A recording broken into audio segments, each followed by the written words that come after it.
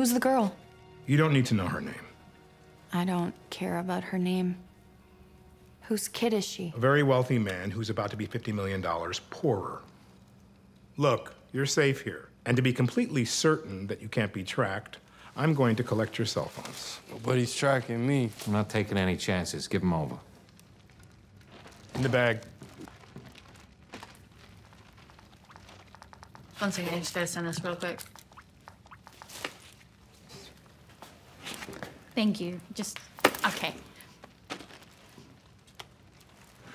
Thank you.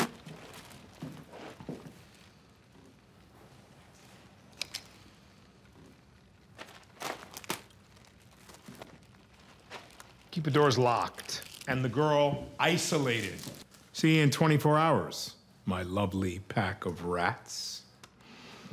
Rats? What? How come you called us rats?